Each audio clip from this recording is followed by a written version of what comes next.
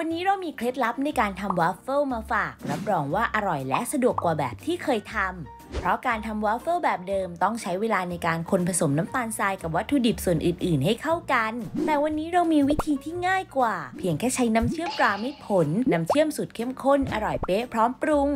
วิธีทำเริ่มจากทำวาฟเฟิลก่อนค่ะ ใส่แป้งสาลีอเนกประสงค์ลงในภาชนะ ตามด้วยผงฟู และเกลือป่นเสริมไอโอดีน คนให้เข้ากัน เติมไข่ไก่ นมข้นจืด กลิ่นวานิลาชนิดน้ำผสมให้เข้ากัน ตามด้วยใส่น้ำเชื่อมตรามิตรผล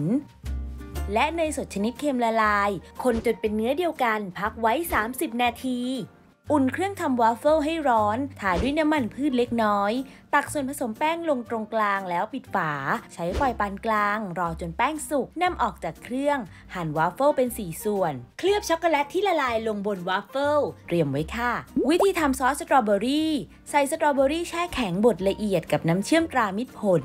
ลงในภาชนะนำขึ้นตั้งไฟแล้วคนตลอดเวลาจนส่วนผสมเดือดทั่ว เตรียมไว้สำหรับรับประทานคู่กับวาฟเฟิลจัดวาฟเฟิลใส่ภาชนะ รับประทานคู่กับไอศครีม วิปปิ้งครีมตีขึ้นฟู